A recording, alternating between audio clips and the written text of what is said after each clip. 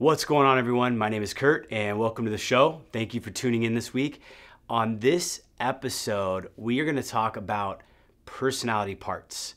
For me, there's a lot of things going on in my mind.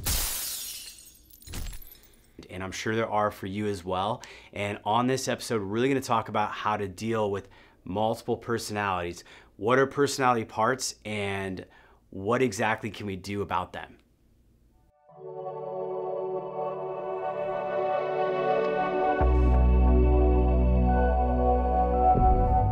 So, personality parts. This topic first came up back when Freud was kind of doing his psychoanalysis. In fact, probably even before Freud, I'm sure there were some people out in the therapy world, in the uh, psychiatrist world, that were actually looking at individuals and sort of applying the concepts of multiple personalities. We have come a long way in terms of modern sort of therapy and psychoanalysis and psychiatry. And by the way, this is all for informational purposes. If you need a therapist or something like that, by all means, I am not necessarily qualified to give you the best advice, but I'm gonna give you my perspective on what I've learned in terms of dealing with multiple personalities, what it's like. I have actually schizophrenia in my family. My grandmother, uh, God rest her soul, she just passed. She uh, was a schizophrenic uh, for diagnosed for almost 40 years, 45 years, and so that's kind of an extreme. It's not necessarily multiple personality, but mental health is certainly something that's big on the radar for a lot of people.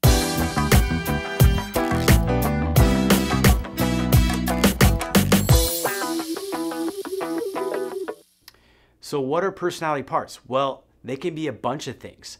For, for me, I like to define them and think about them in the simplest terms. And I really studied most of what I'm talking about in today's video on uh, this topic basically from internal family systems, IFS. It's a mindful based therapy. Like most of my, my work that I work on is mindful based, but this type of therapy actually works to make you sort of as a, a, unbiased observer to the different parts of your personality that want different things. So say for example, you're out with your friends on a Friday night. You're having a drink, you're having dinner, uh, one of your buddies wants to go to another bar, another person wants to go to another bar, and so you end up going with the group to this bar. And what happens is, as the night goes on, another part of you that there's there's there's multiple parts of you. There's a part of you that's like, yeah, this is fun. Let's go hang out with the social crowd. Let's go roll with the punches. Let's let's do what's going on. And then there's another part of you that comes into the picture. And this part of your personality is the one that's like responsible, Kurt. What are you doing? It's almost 10 o'clock. It's time to get to bed, time to get home, time to wind down, get into your sleep routine. You know how important sleep is, blah, blah, blah, blah, blah. While this other part of your personality might be going, hey, but it's so fun. You never get out. It's Friday night. That's when people are social. And this doesn't have to be super extreme in your personality, but for a lot of people, it can be, especially in times of more stress. What you find is that people will split. Their personalities will end up splitting more and they'll have more conflict in what's going on, especially under higher stress. And I think as entrepreneurs, we tend to be uh, given more stressful decision making type things. So not only are we dealing with more stress, we have less relief from it, and we also have more decisions to make. And so we're kind of constantly dealing with different parts of our personality that are uh, in conflict sometimes with each other. They're they're wanting one thing and the other thing. And so the the going out example is just a basic example to kind of highlight what it's like to go out and have those personalities.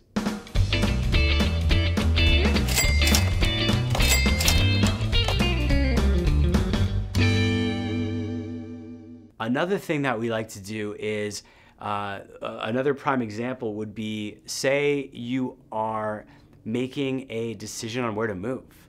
For me, going to Austin, there are parts of me that have very strong desires to be in Austin. There are parts of me that have very strong desires to stay in Seattle. And those parts are definitely parts that are going to have some conflict. Being in Seattle and being in Austin are not the same thing the personality that wants to do that and wants to do this are going to be different. And so really what it comes down to is is the parts of your personality are what make you up and they're what give you sort of these different desires for different things whether it's having fun, being successful in business, being healthy, enjoying delicious food, and they look out for you. And what you want to do is become aware of them. Like I said with anything in business or life, I think the first step is to become aware, to know where you're at, and the next step is to find your target. Once you know where you're at and where your target is, you can start to go down the path of where you need to get to. And that's the same thing here with your parts. In your personality, whether or not you agree with me or not, you can look this up, kind of do your own research. I strongly feel as though there are different parts in my personality, and there's a lot of support out there to support that concept. So if you go with that as a model for how you view the world and how you operate, then what you're gonna find is that you're gonna have to find ways to sort of help these parts interact. Most people don't. They go through life and they have methods of avoidance. So they have a problem and they avoid it. They go drinking, they go social. Maybe they have a sex habit. Maybe they have another addiction. They have an animal. There's a lot of things that they can do to avoid what it is they're facing. But with this sort of approach with internal family systems, that's the main therapy that I studied that can help you learn how to manage and work with the parts, you actually have the ability to really go in there and basically facilitate a dialogue. So what you do is you basically set aside time and you're gonna work with your parts. In my case, when I first started doing this, I had a lot of conflicts around what I was gonna do for my business, for my life. Because there was so much going on and I had so many different parts and so much conflict, I really spent some time. Like I probably did about two sessions a week of 45 minutes. You don't need to go that extreme if you don't want to, or maybe you need to go even more extreme. But the point is, you want to set aside a time when you can sit down and get to a relaxed state where you're un, unjudging, you're you're un, you're unbiased, you're very non-judgmental, and you can just sit here and go, okay, we're going to work on the issue of where I'm going to move. This part of me says I should stay here. I'm going to call this part George.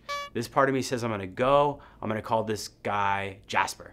So, George, let's hear what you have to say. What are your concerns? What are your thoughts? And you can talk out loud. Again, this is something you can do for yourself that's very effective on your own. You can talk out loud. You can talk in your um, in your journal. You can write down things. You can also shoot a, a, recording if you want as well. You can do it however you want. The point is, you want to get a record, get some sort of way to hear out the part hear out what they want to say, and allow them to speak. And then once they've spoken, you've been able to document and kind of hear out their concerns, what their thinking is, what they really want to focus on. You can go to the other part. You can hear their parts. And while you're listening to this, you're sort of allowing them the time, the space, the ability to sort of share their concerns, their thoughts. This is not something where you're forcing them to do it. I know this sounds weird. Just just roll with me on this. Trust me, it, it's very valuable. And you're just getting their feedback. And then what you're doing is, as a facilitator, you can kind of think of yourself as this conductor between these two parts where it's like, look, you guys both want the best thing for me, but we obviously have some differences here we have to resolve. What can we do?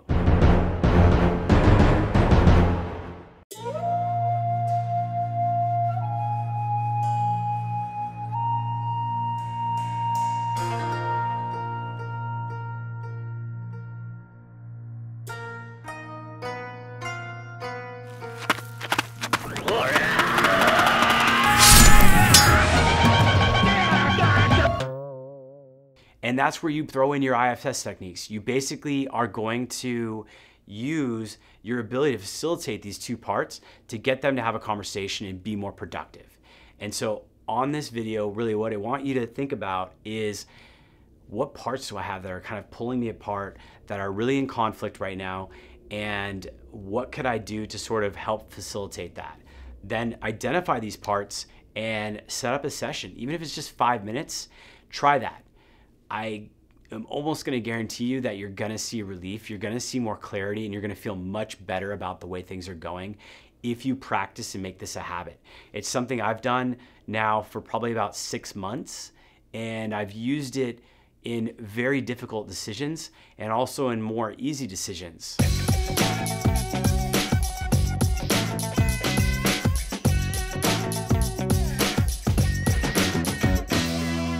Gives you a way to sort of open up and allow yourself to kind of build a connection in your personality because you have these different parts of yourself that want different things. And when you can have them feel like they actually, and you can feel like they're actually in a conversation, in a dialogue, that's so much more powerful than when they're actually just gonna do this, gonna do that, kind of a third world drug lord, if you will, who's just brute forcing their way.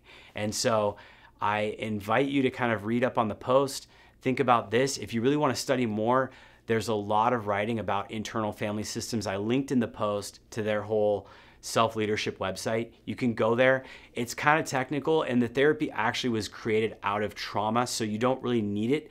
You just need the basic idea of the fact that you have parts in your personality, that you can have a dialogue with them, that you need to be the unbiased, non judgmental observer that is mindfully allowing them to share what they want and need and, and don't want and you can facilitate that that dialogue between the parts.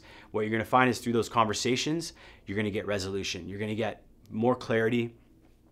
You're going to know where to go. So until next time, thanks for watching and keep crushing.